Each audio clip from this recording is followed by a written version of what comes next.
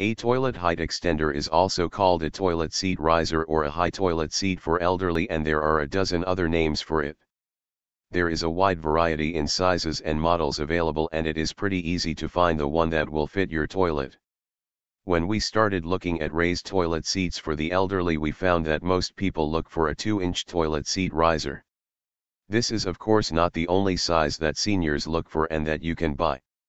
There are raised toilet seats from 1 inch to 8 inch in the stores and the other option to choose from is a raised toilet seat with arms or not. Like I mentioned before there is a solution for your specific situation available, and we will try to help you with that. For some people it can be a little embarrassing to go to a regular store. If that is the case for you, we recommend you to purchase your toilet seat riser online in stores like Amazon. This will also save gas and travel time and, you can take as long as you need to find the right one. Let's have a look at the available sizes.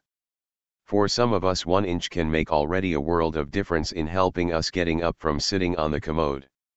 There are many other options padded, with arms, and a lot more. We have gathered the most bought and highest rated ones for you in this part of our reviews on our senior citizen website.